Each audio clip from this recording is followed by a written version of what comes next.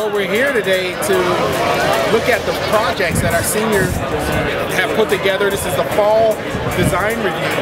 The seniors will work on these projects all throughout the year. And this is going to be, uh, so we're in the beginning of what would be the culmination of their uh, senior projects and, and, and what they'll use to graduate. Professors are advising these students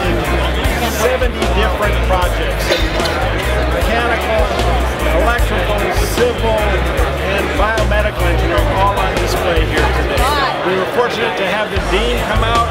He is new to UCI, but he is a very strong supporter of project-based education. I am extremely excited at the quality of some of the projects I'm seeing today.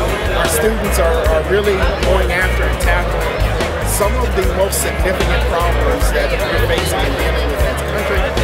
And because of that, because of that, I am very, very optimistic on the future, not only for these students, but the future for us